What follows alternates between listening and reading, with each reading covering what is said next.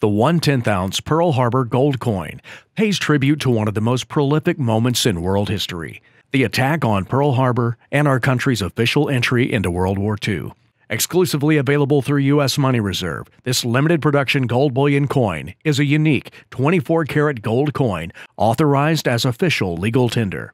History comes to life with each 75th anniversary Pearl Harbor gold coin made from the highest purity possible, 0.9999 solid gold.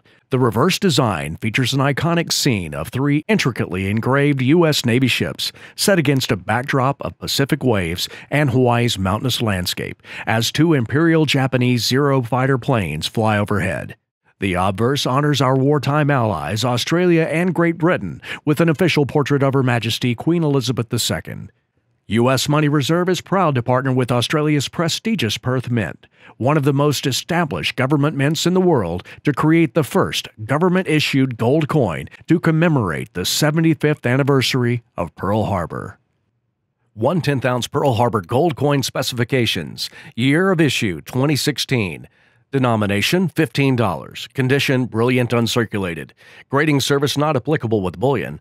Metal content 1 10th troy ounce. Purity 0.9999 gold 24 karat.